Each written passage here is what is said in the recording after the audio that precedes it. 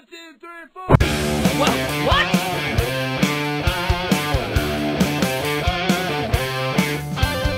Yeah, we'll be right back with a delicious and nutritious snack for our desperate, aspiring fugitives.